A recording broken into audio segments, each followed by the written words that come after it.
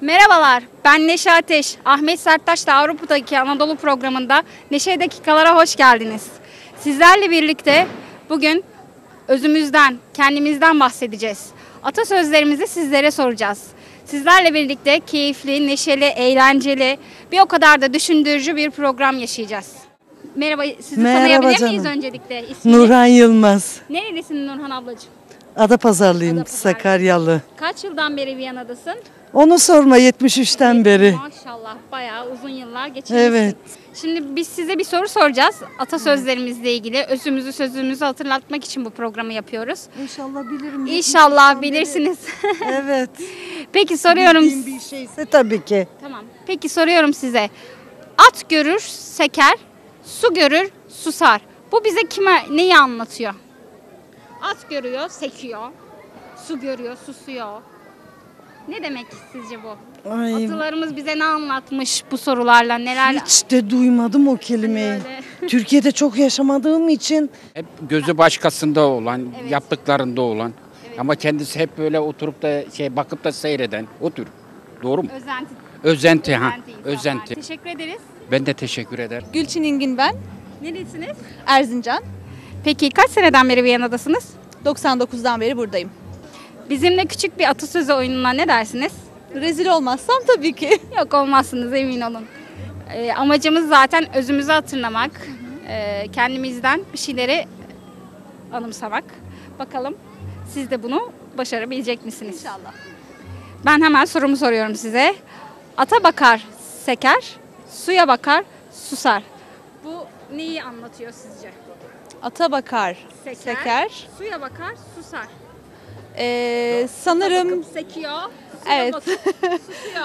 sanırım ee, aslında baktığımız ve gördüğümüz şeyleri ee, kendi içimizde ve kendi bilinçaltımızda ne kadar benimseyip onları yaptığımız, onlara özendiğimizi anlatan bir atasözümüz. Evet, özentiliği vurguluyor, doğru söylüyorsun.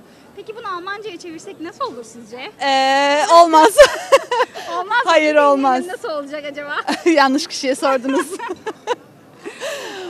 Yani atasözünü Almanca'ya çevirecek kadar ee, Almancam yok. Birebir übezetsin değil de hani böyle cümleyi übezetsin etsek yani açıklamasını yapamayız. Maalesef. Peki teşekkür ederim. Ben Çok teşekkür ederim.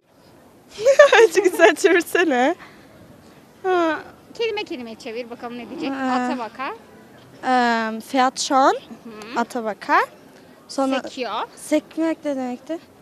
Was? Hüpfen ya. Hüpfen so bir Evet. şey. Sonra Suya bakıyor, susuyor. äh, ş- ähm, Wasser schon und dann Durst haben. Duydum dost yaralandı yine gönlüm hoş değil Duydum dost yaralandı yine gönlüm hoş değil Her yanı parelendi her yanı parelendi Yine gönlüm hoş değil Efendim Neşe dakikalarda yanımda çınar ağacı gibi aslan bir abim duruyor. Elinde sazıyla. Tam da bizim istediğimiz konsepte özümüzü sözümüzü anlatan bir amca gibi geldi bize. O yüzden de hemen röportajı aldık kendisine. Merhaba beyefendi. Sizi tanıyabilir miyiz? Adınız, soyadınız? Adım eee Seyfettin Öğüt. Nerelisin abicim? Elazığ. Elazığ. Peki kaç seneden beri Viyana'dasın? Ben eee, 17 yıl oldu yani bu seneyle beraber. Size bir atasözü sorsak bilebilir misiniz abicim? Ben güveniyorum, çok güveniyorum hem de size. Eee atasözlerimiz eee dir Mesela sorayım bir tane. Ata bakar, seker, suya bakar, susar. Acaba ne anlatıyor burada? o eee, ayrı bir olay. Onu o da bir emektardır. O, o da bir emektar. Evet, o da bir emektardır. atasözleri de bir emektardır. Kendini eee, taşıyan, kendini yürüten muhakkak bir varlıktır yani. O da bir varlıktır. Evet. Ha. Anlamı nedir peki bu Yani atasözünün? bunun e, o at olmasa da dahil onun sırtına binip de o seni taşıyor. Sen onu taşımıyorsun. Anlatabildim mi?